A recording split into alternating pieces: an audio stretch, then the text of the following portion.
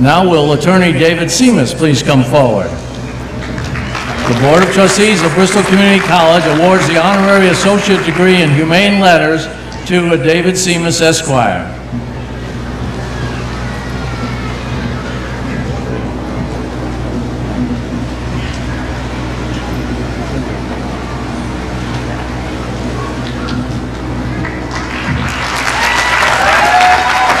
David Simas Esquire, ladies and gentlemen.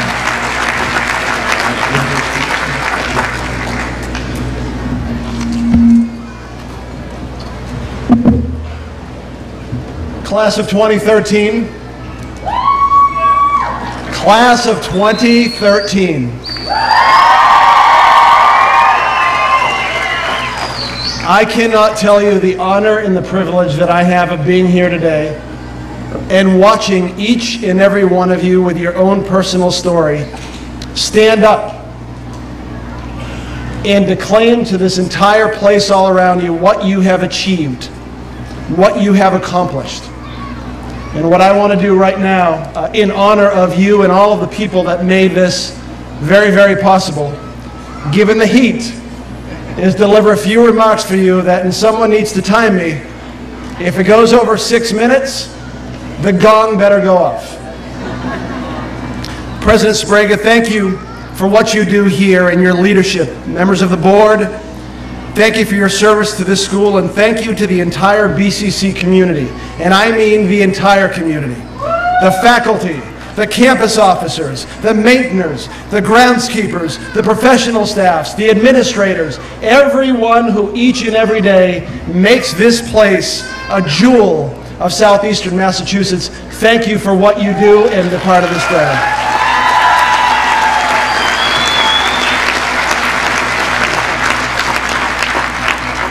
Congratulations to every parent, to every grandparent, to every spouse, to every child, to every loved one, because the guidance and the encouragement, the support, and yes, sometimes money, that you provided to the students is central to their success.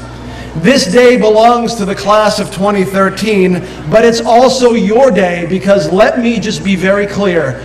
There is not one person who succeeds alone. No one. Congratulations to you for what you did.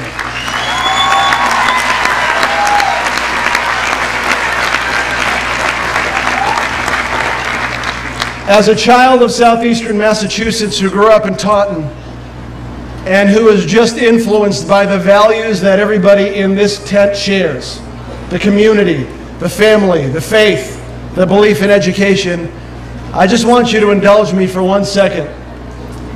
Each day I have the honor of entering the White House to serve the President of the United States in this country. Each day when I walk through those gates, each day when I walk into the West Wing of the White House and have the opportunity to serve, let me just remind you of one thing that I feel. I feel deeply rooted to the people who helped me get there because I stand on the shoulders, as do you, of all of the people who made this day for you possible in my entrance each day to serve my nation possible. When my parents, who are here today, came from Portugal in 1969, they came with, they came with very little money, but with an abundance of hope for a better life for themselves and for the children that they did not yet have. Through hard work and sacrifice, and always putting their two children ahead of themselves, through injuries and illness, through loss of loved ones, and longing for that country that they left behind and the values, they wrote an American story. A story that's rooted in family and in work and in education. In graduates of 2013, much like your parents and grandparents and loved ones are feeling today, when I walked across the stage, when my sister walked around the stage to grab the diploma, it was an achievement for me, but the sense of accomplishment and love was even bigger for them.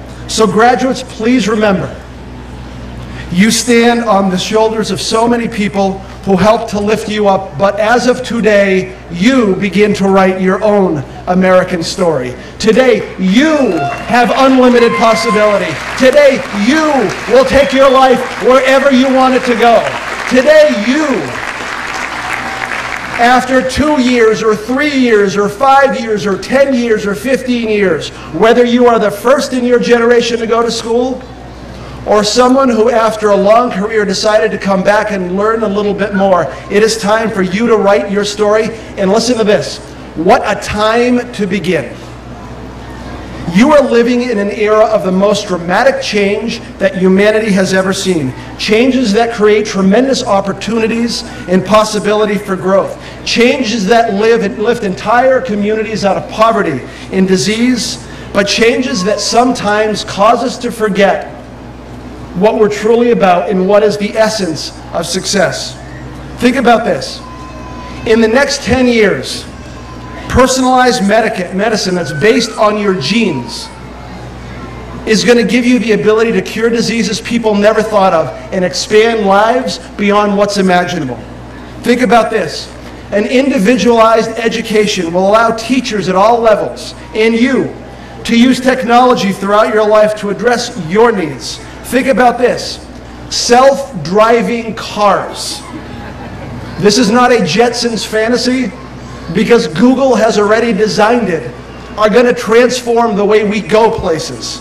Think about this 3D printers will allow each one of you to come up with an idea, design it, make it, and sell it. Think about this. You are the first generation that truly has all of the knowledge of the world at your fingertips. That has never happened before. You stand on the shoulders of so much opportunity and possibility. Through social media, Facebook, Twitter, you name it, your friends from high school, your friends from college, and the friends for the rest of your life will remain connected in a way that we were never able to do before. This is not some fantastic dream. This is today. And the opportunities and knowledge before you are greater than any that we've ever known. But there's a professor at the University of Massachusetts who said the following We're living a digital life, but we are in an analog body. And the changes that are occurring are happening so fast that this unlimited opportunity also translates into the following. How many of you have felt the 24 7 cycle that just never ends? How many of you have experienced the fact that there really aren't weekends anymore? How many of you have felt that it's always nonstop? And though, even though you are always connected, somehow the richness of connection falls apart. So, with all the opportunity and technology, all the advancements and promises ahead of you, how do you make sure that the intensity of each day, your packed schedule, the long work days, the constant digital communication don't lose you, cause you to lose touch with all of the people around you who help to make you what you are. Years ago, my old boss, the governor of the Commonwealth of Massachusetts, Deval Patrick, used to say to people around him something very, very simple. And this is what I want everybody to take away from you from me today. Remember who you are and what you represent. Remember who you are and what you represent. Time and again, I have fallen back on that simple, powerful statement. It's a reminder of the values and the family and the sacrifice, the friends who have stood by me in my sense of community. So today, after you walk off this stage, please find your family, find your friends, and hug them deeply. And I am not talking about one of those man hugs that are awkward you know, and you pat yourself a couple of times. Cherish the moment. Find a professor or another member of this community and thank them for the amazing insight, the words of encouragement, or that tough lecture that they gave you once that kept you going. Think about the friend who didn't finish, who hasn't finished. Think about the people you went to high school with who never had a chance that you do today. And most importantly, think about who you are and what you represent because I promise you, no matter how hard you work or how much you achieve, Living by your core values is where you will find success. That is the thing that matters. Remember who you are in what you represent. And for those of us who've been raised in places like Taunton and Attleboro and Fall River and New Bedford and all of the places in between, we see this value in community. We see the commitment of our friends and our neighbors and the volunteers, and we understand that work is not about how much you make, but about the dignity that it brings and what it does to your family. We have seen this in small ways throughout our lives, but recently, I want everybody to think about what was most important because we saw it in a very, very big way. This past Patriots Day in Boston, I was sitting in my office in Washington, and we saw where the hatred of a couple of people shook an entire community. And I, like all of you, were moved to tears, but here's why I was moved to tears. The suffering and the loss was immediate, but the self sacrifice, the simple humanity, and the goodness that we saw moved me the most. In those few moments after that explosion, we were all reminded of what was most important. Here's what we saw men and women who were running towards an explosion and not away from it. That's what we saw. A doctor who finished the marathon and continued to run to the emergency room so he could provide care. That is what we saw. First responders who fulfill their duty with little concern for their safety and total concern for yours. That's what we saw. We saw a community that opened up its doors and opened their bedrooms and kitchens and entire homes to people who couldn't go home. We saw an entire region shut down so that law enforcement could do their job and bring people to justice. That is what we saw. That is who we are. That is what we represent. And don't ever lose that in a day like today.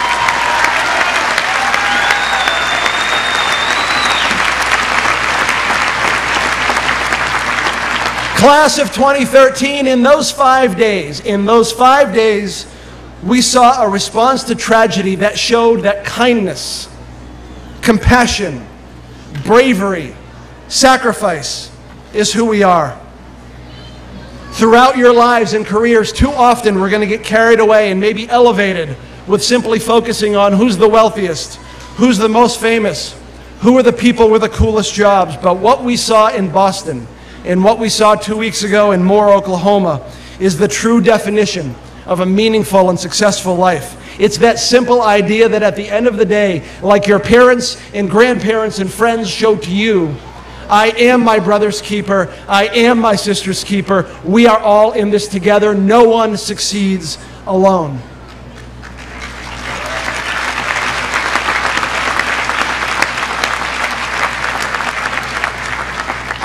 So, class of 2013, today is a celebration of your achievement.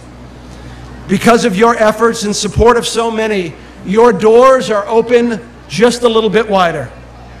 You've made your family proud, and all of your dreams lay in front of you. Today, you begin anew. All commencement is is a fancy word for beginning. You've been enriched by what you've been taught at this place. You're loved by the family and friends who've helped you. You're excited by the possibility that awaits, a little nervous about the challenges and change that will come. But all of us are reinvigorated by your American story and the fact that you get to begin to write it today so you too can pass a legacy on to your children and grandchildren and their children so that in 30 years you are standing here delivering this address, accepting the degree, enriching your community, and making of your life everything that you've possibly dreamed of doing. And if there's one simple thing that I want you to remember from the person, me, whose name you will very quickly forget, justifiably, as you leave here, is please remember at different times during your life to just stop. Remember who you are and what you represent.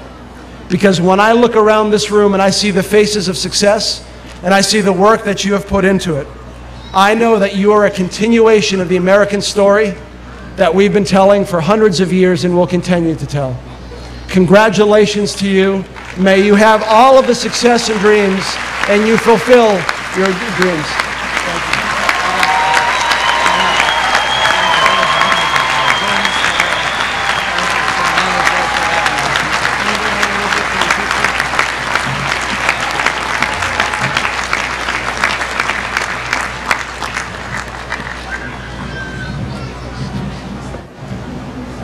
Attorney David Simas, ladies and gentlemen, for the Aspiring Award. His 39 years as an educator at the college